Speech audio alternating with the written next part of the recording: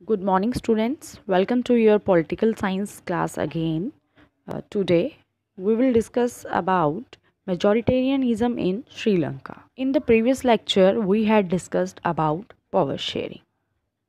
So students last lecture में आपने पढ़ा था कि पावर शेयरिंग जो है वो क्या होती है और किस तरह से uh, जो बेल्जियम है वो बेस्ट एग्जांपल है पावर शेयरिंग की वहाँ पर किस तरह से पावर को इक्वली शेयर किया गया है बिटवीन टू ग्रुप्स अब नेक्स्ट हमारा टॉपिक है मेजॉरिटेरियनिज़म इन श्रीलंका सबसे पहले हम मेजॉरिटेरियनिज़म का मीनिंग करेंगे कि मेजॉरिटेरियनिज़म जो है, वो क्या होता है?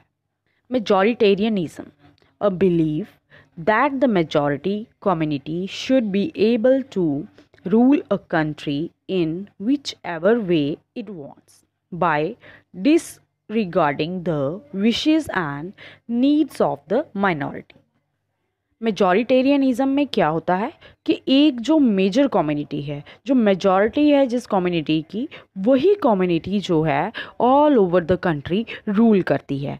वो क्या करती है? जो उनका दिल करता है, उसके अकॉर्डिंग पूरी कंट्री में गवर्नमेंट चलाती है और दूसरी तरफ़ वो क्या करती है? माइनॉरिटी कम्युनिटी की नीड्स जो उनकी ज़रूरतें हैं, उनकी विशेज़ हैं, उनको नज़रअंदाज कर देती हैं। उनके इंटरेस्ट का वो नहीं सोचती हैं। जो मेजॉरिटी की विशेज़ होती हैं, जो उनका मन करता है वह वही रूल करते हैं। और अगर आप मेजोरिटेरियनिज़म की एग्ज़ाम्पल लोगे तो श्रीलंका जो है वो इसकी बेस्ट एग्ज़ाम्पल है, क्योंकि वहाँ पर दो मेजर कम्युनिटीज़ थी, एक थी सिंघाला और दूसरी थी तमिल। जो सिंहाला पीपल्स थे, वो वहाँ पर 74 परसेंट थे। तो वहाँ पर मेजर कम्युनिटी किन की थी? सिंघाला की। तो all over the country Sinhala community का रूल ही चलता था। तमिल पीपल जो 18 परसेंट थे, उनको कोई भी इम्पोर्टेंस नहीं दी जाती थी। नेक्स्ट आगे टॉपिक जो है वो आपकी बुक पे दिया गया है। श्रीलंका जो कंट्री है, ये एक आइलैंड कंट्री है और ये 1948 में आज़ाद इंडिपेंडेंट कंट्री हुई थी। इनके जो मेन यहाँ पर जो ग्रुप्स थे, वो कौन से थे? सिंघाला कम्युनिटी के थे और जिन्होंने क्या किया? पूरी ऑल ओवर द कंट्री जो है, वो रूल किया। क्यों? क्योंकि उनकी वहाँ पर मेजॉरिटी थी। और इसका यही रिज़ल्ट हुआ कि वहाँ की जो गवर्नमेंट थी, उन्होंने मेजॉरिटेरियन सीरीज़ को इस्टेब्लिश किया, जिसमें हमेशा सिंघाला कम्युनिटी को सुपरमेसी दी जाती थी।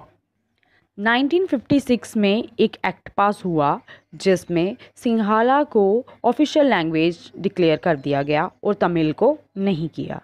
दूसरी तरफ़, गवर्नमेंट ने क्या किया कि जितनी भी पॉलिसीज़ निकाली, उसमें सिंघाला जो एप्लीकेंट होते थे सिंघाला पीपल होते थे, उन्हीं को गवर्नमेंट जॉब्स दी जाती थी। यूनिवर्सिटी में जो हाई पोजीशंस की जो जॉब्स थी, रैंक थे, वो सारे जो है, वो सिंघाला कम्युनिटी को दिए जाते थे। और ये लोग क्या करते थे कि अपने जो रिलीजन है, इनका धर्म कौन सा था? बुद्धिज़्म। और ये इसी को आगे आगे और और बढ़ा रहे थे। इसी तरह से गवर्नमेंट की नई नई पॉलिसीज़ आती गई। श्रीलंकन जो थे, जो सिंघाला लीडर्स थे, उन्होंने अपने रिलीजन को आगे बढ़ाया, अपने कल्चर को आगे बढ़ाया, अपनी लैंग्वेज को ज़्यादा इंपॉर्टेंस दी। कॉन्स्टिट्यूशन में जितनी भी पॉलिसीज़ होती थी गवर्नमेंट की, वहाँ पे सिंघाला को ही इंपॉर्टेंस दी जाती थी। तमिल पीपल को कोई भी गवर्नमेंट जॉब्स नहीं मिलती थी, कोई भी उनके इंटरेस्ट के लिए नहीं बात करता था, उनको हमेशा डिस्क्रिमिनेट किया जाता था।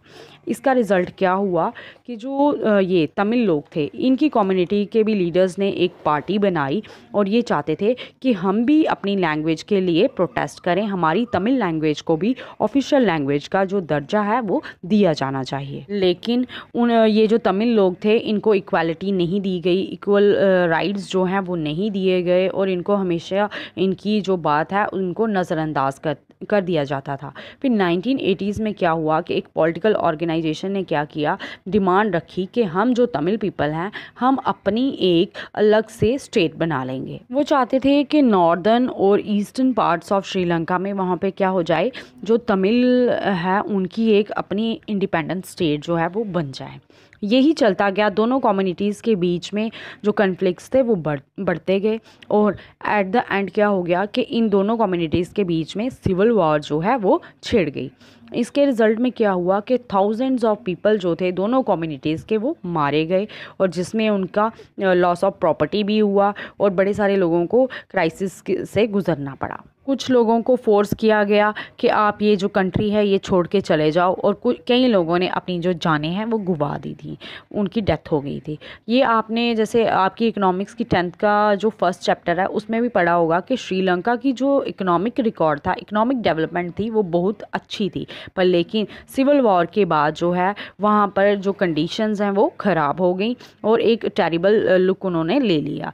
उसके बाद जो सोशल और कल्चर इकनॉमिक जो डेवलपमेंट थी वो भी कंट्री की रुक गई।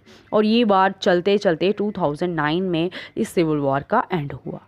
इस तरह से आपने श्रीलंका में देखा कि दो कम्युनिटीज़ थी सिंघाला एंड तमिल्स सिंघाला की जो मेजॉरिटी थी, वो ज़्यादा थी। सिंघाला पीपल ज़्यादा थे तो उन्होंने ऑल ओवर द कंट्री जो है, वो रूल किया और तमिल को इक्वल इम्पोर्टेंस नहीं दी गई, जिसके चलते वहाँ पर कंट्री में वॉर हो गई थी।